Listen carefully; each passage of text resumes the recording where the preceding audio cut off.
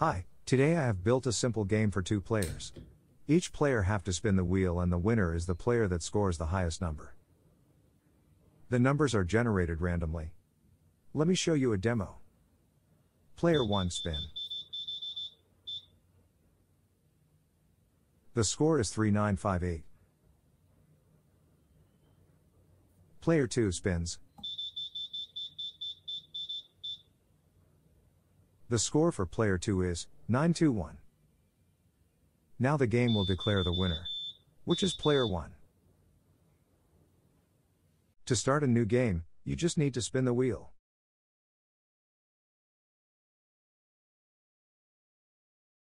The wheel used for the project comes from a broken hard drive. I removed the motor and disks and placed them on an old wooden box. With Arduino, the game was easy to implement. If you like the project, I can send you electrical diagrams and then the sketch. Hope you enjoyed it.